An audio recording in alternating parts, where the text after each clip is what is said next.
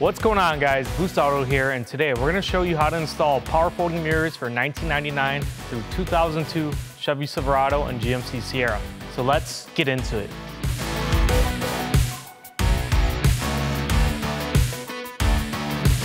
Boost Auto is proud to present tow mirrors now available with power fold for your 1999 to 2002 Chevy Silverado and GMC Sierra trucks. Our Boost Auto wireless module gives you the option to upgrade to power folding capabilities hassle-free even if your truck did not originally come with it. Our patented wireless technology integrates seamlessly to your existing mirror controls that allow a clean, hassle-free install. Enjoy great visibility while towing or daily driving alike even in the harshest weather. Don't let your factory configuration hold you back. Enjoy customizable mirror caps, marker lights, and so many more premium options.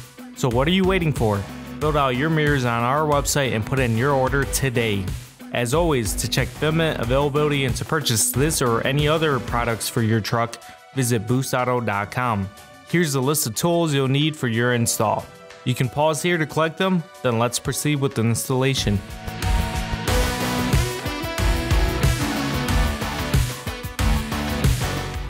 PowerFold wireless kit, your kit will include your left and your right tow mirror, as well as the needed wireless modules and harnesses.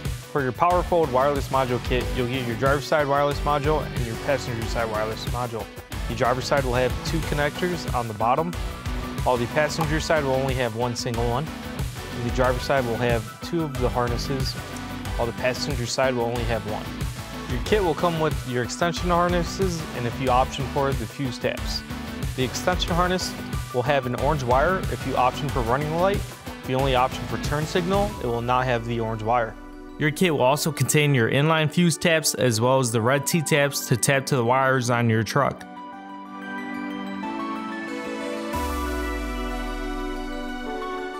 Before we begin installation, we're going to go ahead and roll the front windows down. Go ahead and open the hood. Next on the driver's side, we could go ahead and disconnect the negative terminal at our battery. If we have an auxiliary battery, we could disconnect that at this time too. Back on the driver's side, we go ahead and start with mirror removal. We're gonna go ahead and remove the triangular plastic piece up top.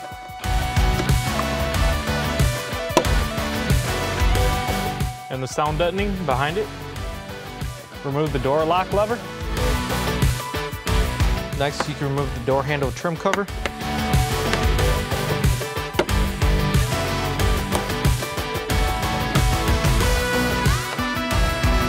Now with all the trim panels out of the way, we'll go ahead and start with removing the hardware behind the door locking tab. Remove the next bolt behind the door grab handle.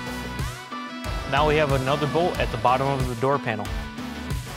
With those out of the way, make sure you don't have any other bolts or trim clips on the outside of the door panel.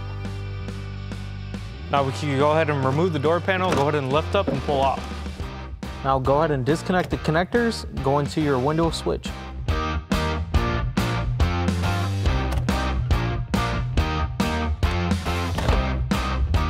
Also, if you have this connector, disconnect it at this time too. If you have an interior door panel bulb, you could go ahead and remove it at this time. However, this vehicle does not have one. With those removed, you can now remove the door panel from the truck. Go ahead and remove the mirror connector. Now we can remove the three nuts holding in the mirror. Make sure while you're removing, you're supporting the mirror. Now go ahead and pinch in these clips and remove the mirror.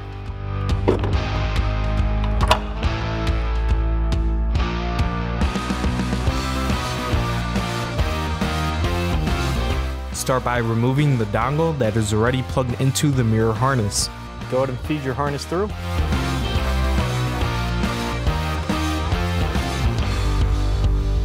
Once the harness is fed through, you could go ahead and start mounting your mirror to your vehicle. Once the studs are lined up, go ahead and install your nuts. Using your 10 mil, you can go ahead and tighten the nuts down all the way. Go ahead and repeat the same steps on the passenger side.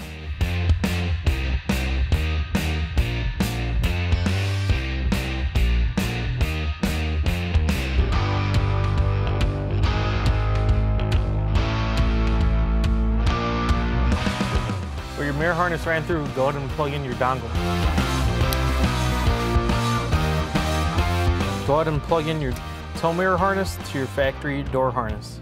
Next, you're gonna go ahead and plug in your extension harness. Now, if you option for turn signal, you will not have the orange wire that is for running light.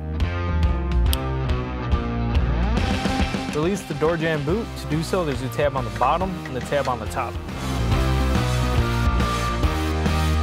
Take your extension harness and route it down to your door jamb boot. We're gonna slide it up top to the triangular piece and down below. Feed it to your door jamb boot. Now go ahead and pull the slack through, however leave some room so you don't have any chafing. Feed a strained out metal piece, in this case a coat hanger, through the door jamb boot. Tape the extension harness to the end of the coat hanger. Pull the harness through. However, be sure to leave some slack. Untape the harness. Next is to route the harness into the cabin. Before we route the harness in, we're gonna go ahead and remove this kick panel and peel back this kick panel. Lift up on the panel here. To do so, we're using the trim tool. You can hear it pop out of place. With that now released, we can go ahead and peel this one out.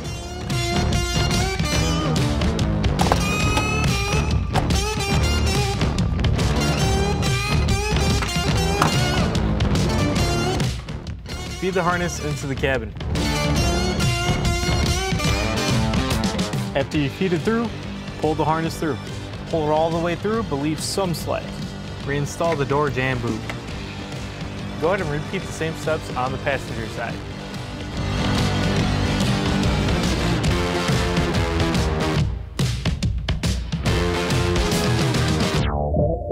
Tape the end of the extension harness to a strain out metal piece or a coat hanger and route it to the driver's side. Feed the harness behind the dash to the other side of the vehicle. Pull the harness through. Untape the harness. We're gonna tap at the BCM. To get to the BCM, we're gonna remove the lower panel under the steering column that's held in by two screws. Remove the bolt. Remove the panel.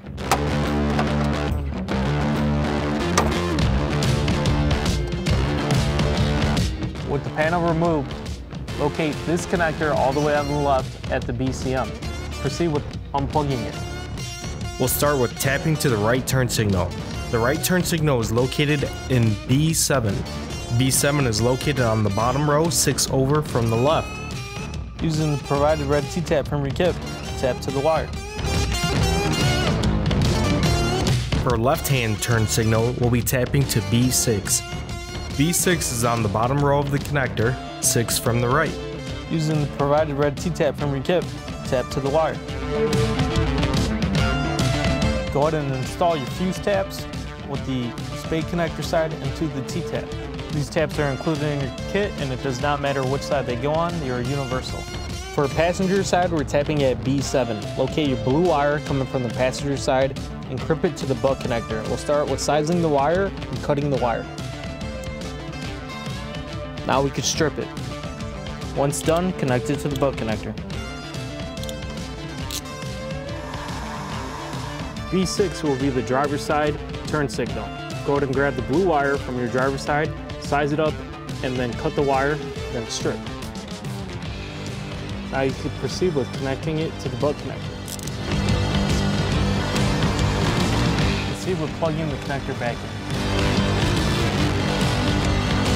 Next, we will be looking for our ground connection. Our ground connection will be located behind the OBD2 port and the parking brake release. It will be the stud located right here. Remove the nut here.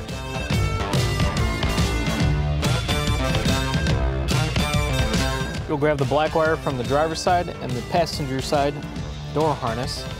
Once you locate it, go ahead and size up the wire to the ground stud. Go ahead and cut and strip both ends of the wire. Once done, take the eyelet from your kit and crimp it to the black wire. We could go ahead and install the eyelet to the stud, then reinstall the nut. But the turn signal and ground wire are now installed, let's go ahead and put back the trim panel under the steering wheel. Reinstall the two 7mm bolts located at the bottom. We're going to grab the white wire from the driver's side and the white wire from the passenger side and route it under hood. If you option for running light, you will also route the orange wire from the driver and passenger side to the underhood. Go ahead and take your white wires and cut and strip both ends. Make sure you have enough slack when passing it inside the cabin. Go ahead and strip both ends. Combine the passenger and driver side white wires together. This method we're using a butt connector, however any method can be used. Now grab the excess wire you just cut and crimp it to the other side. You option for running light, perform the same steps on the orange wire.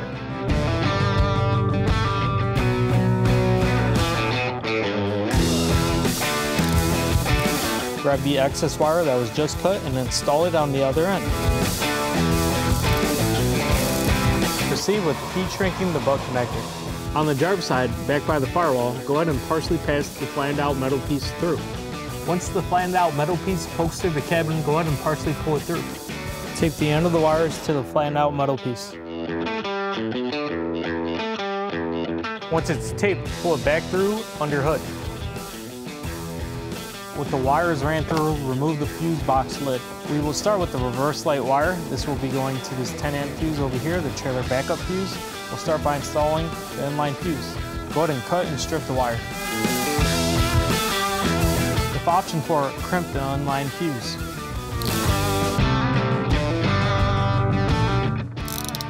We will be installing it at the trailer backup fuse. For this vehicle, it is right here. However, it is recommended with referencing your fuse box lid cover for location. Go ahead and remove the fuse. Once removed, install it in the bottom slot of the inline fuse and install it where the fuse was just removed.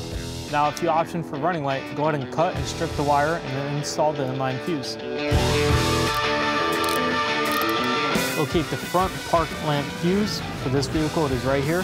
However, like said, please reference the back of your fuse box to determine the location Proceed with removing the fuse. Install the fuse to the lower slot of the inline fuse tap. Go ahead and install it in the fuse that was just removed.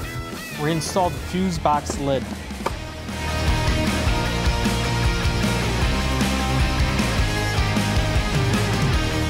Back on the driver's side, we'll start with our PowerFold wireless module installation.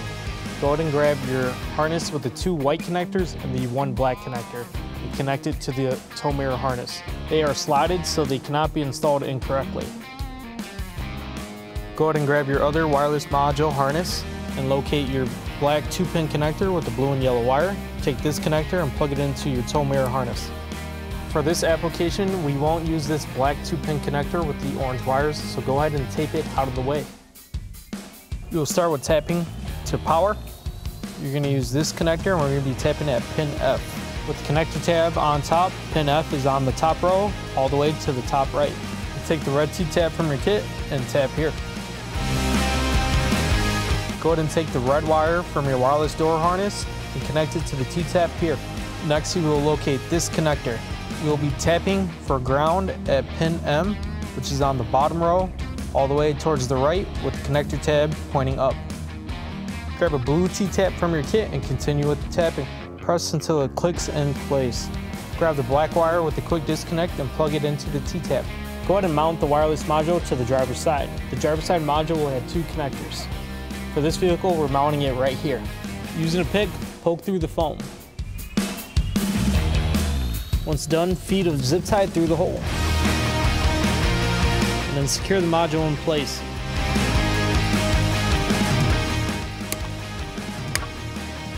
Go ahead and grab your other wireless module harness and locate your black 2-pin connector with the blue and yellow wire. Take this connector and plug it into your tow mirror harness. For this application, we won't use this black 2-pin connector with the orange wires, so go ahead and tape it out of the way. For this connector, we'll be tapping to pin M. Pin M is on the bottom row all the way to the right with the connector tab pointing up. Take the blue T-tap from your kit and tap to pin M. Take the red wire with the quick disconnect and connect it to the T-tap. For the ground wire, we'll be tapping to pin G.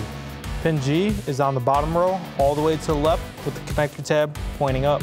Take the blue T-tap from your kit and tap the wire. Take the black wire with the quick disconnect and plug it in. Install the passenger side module similar to the driver's side.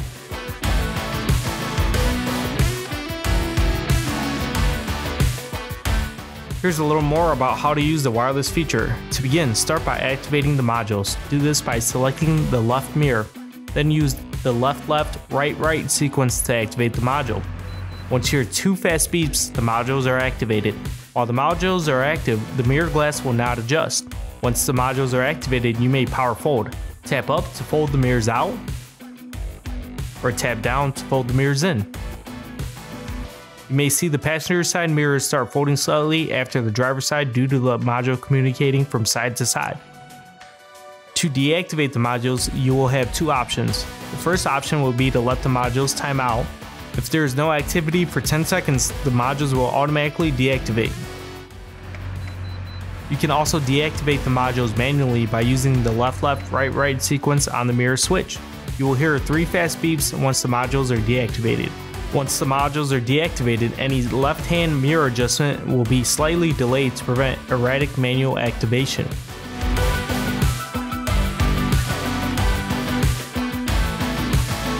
Starting on the driver's side of the truck, plug in the two connectors to the wireless power fold module. Now tuck the harness out of the way. Now we can plug in the rest of the connectors.